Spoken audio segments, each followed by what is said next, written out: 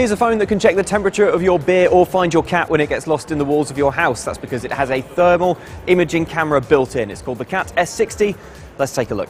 So let's start by talking about that camera because it's definitely the headline feature. So this has been put in Cat's phone by FLIR, which is a, a company that specializes in this kind of thermal technology. Um, what's quite interesting is that you can see on the back here there is both a thermal camera and a regular camera, and when you're looking through the thermal view, it really makes use of both of those sensors. So you can see around the heat imaging, you get a little bit of crispness, a little bit of detail, and that's coming from the regular camera. If you take a photo with the heat sensing tech, what's quite cool is that you can check the temperature of different parts of that image afterwards.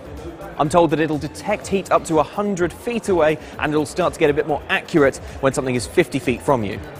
So apart from that heat technology stuff, what you can see is that this is a very, very rugged phone indeed. Uh, it's got a 4.7 inch display, uh, it's waterproof down to 5 meters for up to an hour, and uh, it's extremely rugged as well. I've been asked not to drop this one, but I'm told that it's pretty tough.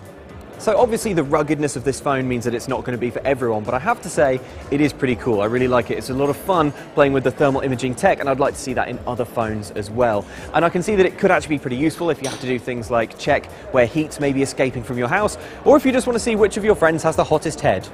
So this is Cat's new flagship phone. It's going to be out in June and expect to pay $599 or 649 euros.